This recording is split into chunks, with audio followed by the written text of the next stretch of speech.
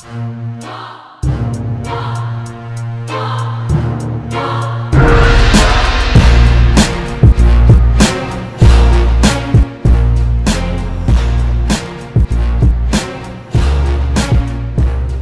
what is going on everyone? This is Wicked and we finally have a ROM based on Android 7.1.1 which is really suitable for rock stable daily usage on our Samsung Galaxy S8 or S8 Plus.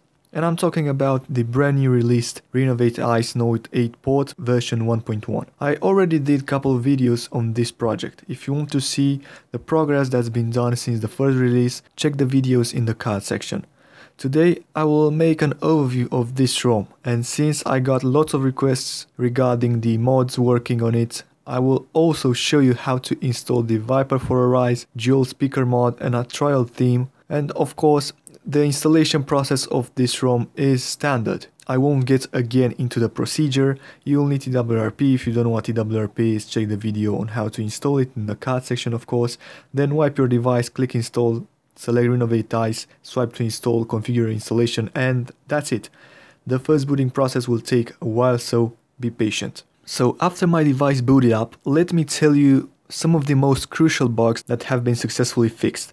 The first one is the video camera bug not working with the video stabilization and shape correction on. Also the green image sent in chat apps like WhatsApp, Telegram was fixed and now you can easily send a picture by using the in-app specific camera app without any green image. I've been using this ROM already for more than 12 hours and I couldn't experience any random reboots or root problems like I did in the previous build and that's thanks to the brand new notorious kernel NK208 by Faravitis. Now let's make a really fast introduction how to install all the mods.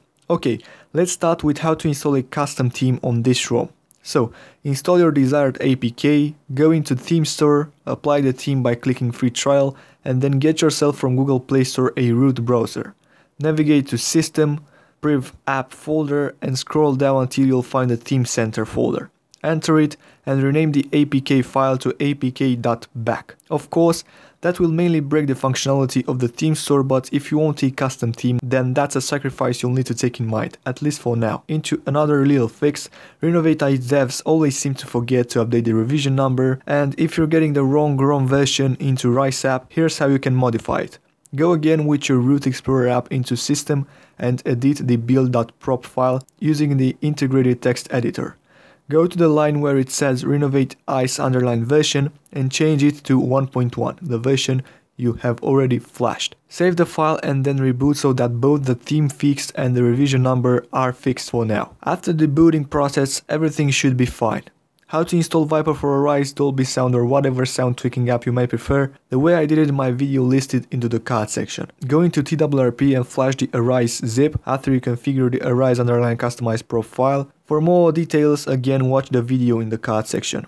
Will it work? Well, I opened the app, opened also the sound app provided by Samsung and I could adjust the gain value from the Viper for Rise app and that means it works perfectly. So does the Dolby Atmos application. A guy asked me how to install dual speaker mod on the Note 8 ports. The easiest way would be to go into Magisk Manager and download the dual speaker mod for S8 or S8 Plus. Install it, reboot and as far as I can tell by listening to it, it definitely works. So yeah, that's how to install it. Camera mod, well, not yet supported. Devs just fixed the Note 8 camera, we'll have to wait for further updates. And time. That was the quick introduction on how to install any mods that were previously working on the S8 firmware, right now working on the Note 8 port. Let's dive in more into the new Renovate Ice ROM. So, Renovate Ice means that it is fully customizable using the Rice app. I won't get into detail now with all you can do with this astonishing app. I already have an in-depth overview of it in the card section if you want to see the full potential of it. One thing that surprised me was that the dev managed to implement the code so that some features won't need the reboot anymore to get changes applied. Not all of them but some of them and that's a really great sign.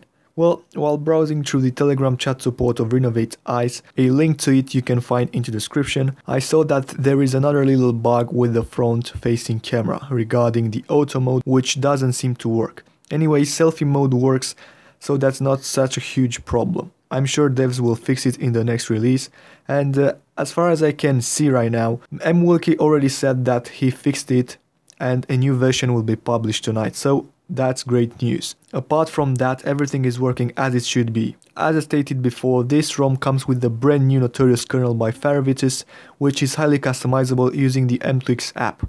I also have a video about this kernel, it will be listed at the end of the video. What really surprised me was that the gaming performance Need for Speed No Limits seems to give me a higher average FPS over 30. At least that's how I felt and saw the FPS counter showing me so. Let's talk about the battery life a little bit because I know all of you are interested in this aspect. So I flashed this ROM at 17% and now after all the reboots, heavy usage and more than 30 minutes of screen on time I have 65 percent which is really a great value. Also the standby drain is pretty damn small after more than 12 hours only 4% of the battery was lost and that means almost 0.34% per hour. Let me go through the sensor check app to see if there are any problems. Everything was working as expected, rotation sensor, proximity, gyroscope, step counter, and so on and so forth. So yeah, everything is stable and suitable for daily usage. Bluetooth works, GPS works, fingerprint sensor works, iris scanner works, everything works out of the box. So, to sum up what I can say, the Renovate Ice Note 8 port is getting better and better as we approach more and more to the S8 Oreo beta update. Things start to look really promising. Anyways, this was the overview for today. I hope you enjoyed it. Don't forget to subscribe to my channel and activate the bell icon so that you'll be notified with all my uploads. I am Wicked and you can find me on Twitter and Instagram at Let's Get Wicked and on Google Plus at Wicked is here. If you like my video, don't forget to press that thumbs up button. As always, until next time, take care. Wicked is out. Bye bye.